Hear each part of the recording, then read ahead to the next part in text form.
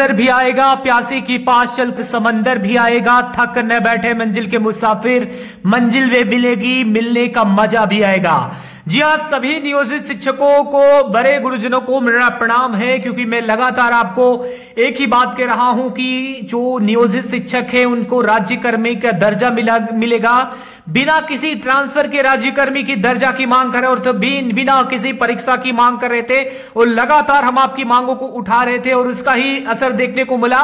प्रभात Tiwari study IQ की लगातार आवाज़ उठाने का ही असर दिखा। दोस्तों, यहाँ पर आप लोग को निवासी शिक्षक को लिए दोस्तों, बड़ी खबर आ चुकी है, ठीक है? मैं एक चीज़ कहूँगा कि जितने भी नियोजित शिक्षक हैं, ठीक है, जितने भी नियोजित शिक्षक हैं, बिना ट्रांसफ़र के और बिना परीक्षा के अगर आप लोग राज्यकर्मी के दर्जा के सपोर्ट में हैं तो प्लीज़ यार, ईमानदारी से वीडियो को लाइक कर देना, क्योंकि हम जो है आपके सपोर्ट में है, ठीक है? तो जितने भी हमारे सपोर्ट में नियोजित शिक्षक हैं वीडियो को लाइक कर देना।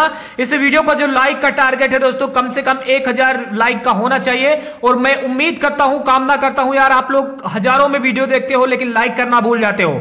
तो सभी लोग वीडियो को लाइक करके चैनल को सब्सक्राइब कर देना, ठीक है, ईमानदारी से। चलिए, दोस्तों, सबसे पहले यहाँ पर नियोजित शिक्षक को एक बहुत बड़ी खबर सामने निकल के आ रही है नियोजित शिक्षकों को लेकर।